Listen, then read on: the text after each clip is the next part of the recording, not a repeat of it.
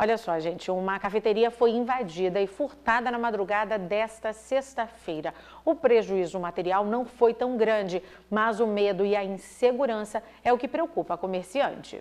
Câmeras de segurança registraram a ação. O criminoso entrou no local à meia-noite e meia. O caso aconteceu nesse café, na rua Otávio Manhã, em Jandrade, no centro da cidade. O criminoso invadiu a varanda do local, que é fechada apenas por todo.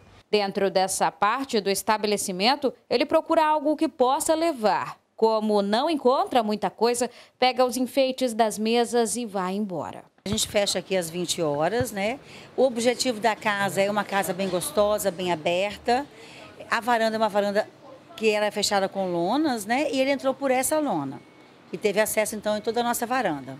O prejuízo foi pequeno para a comerciante, mas o que o criminoso deixou mesmo foi a sensação de insegurança para a comerciante, que está receosa do bandido voltar e acabar trazendo mais prejuízo para o local. Nessa varanda a gente não tem praticamente nada de valor, né? Eu tenho mais na parte interna do meu, comércio, do meu comércio. Só que essa também é a minha maior preocupação, porque eles não vêm só para roubar, eles são vândalos, né?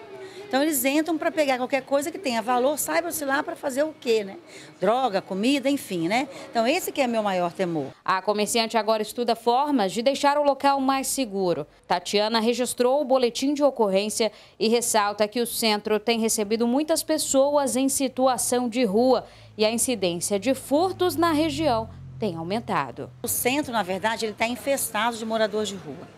A gente entende que muitos não têm casa, outros estão de passagem. Temos até muitos estrangeiros até, mas que muitos fazem até venda, né? Aqueles marabalismos que fazem no trânsito, né?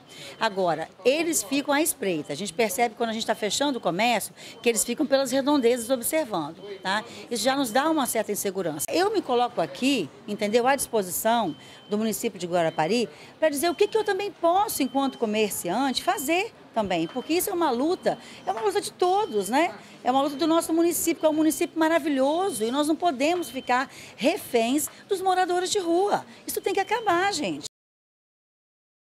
A Prefeitura informou que a Secretaria de Trabalho, Assistência e Cidadania realiza abordagens diárias com a população em situação de rua do município. Sobre a questão de furtos, de roubos, a Prefeitura reforça que se trata de uma demanda policial.